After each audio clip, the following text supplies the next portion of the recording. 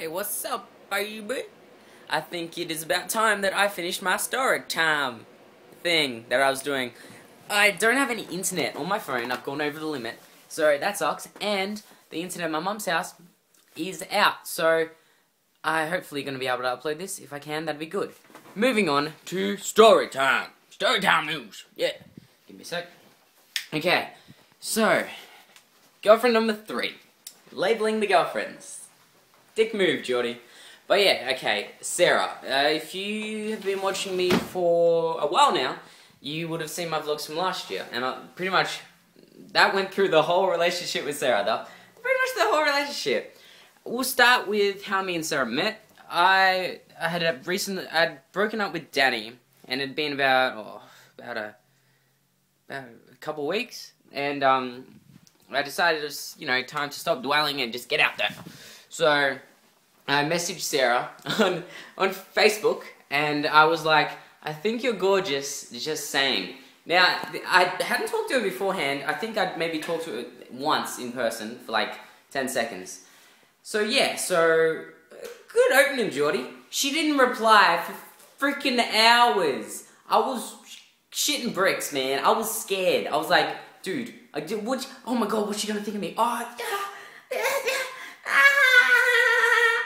she messaged me back finally. I messaged her at around two thirty. She messaged back at around eight. So when she messaged back, I was happy, and she actually replied, and we started talking, and then it kind of built up. Eventually, we talked in person, and it built up, and after a few weeks, you know, it was time for me to ask her out.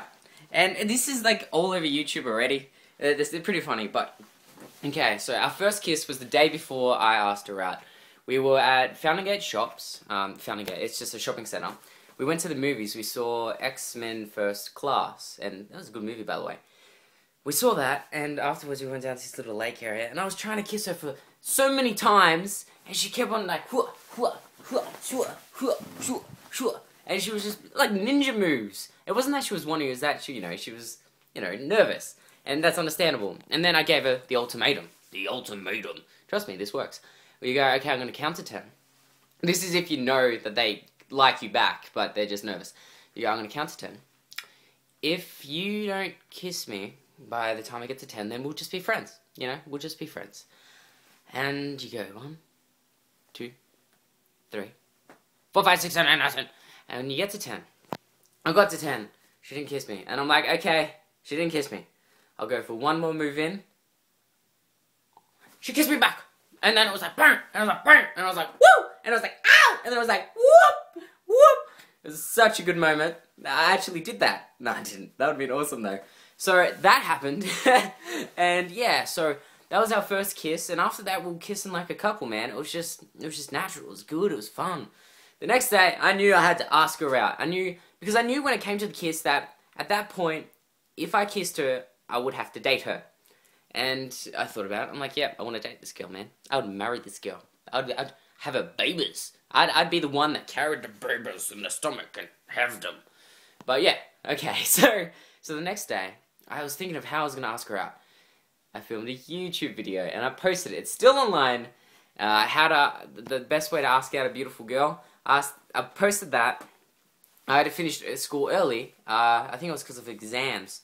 I finished school early, and I went home, filmed filmed it, uploaded it, came back to school, caught her like literally seconds before she was leaving the school. Ah, oh, timing. You just know when things are right when the timing's right. Showed her the video, and uh, and yeah, and she said yes, and it was just good. It was good, and then the relationship only lasted three months, but it felt like forever. It was honestly a really good relationship. Even uh, maybe it was because it was so short. The fact that it ended before things got terrible, you know? Maybe that's why. But yeah, so it lasted three months, and you you watch the whole relationship online. So if you want to go back to my vlogs, um, you know, it's all there. It's all there. It's it's right there.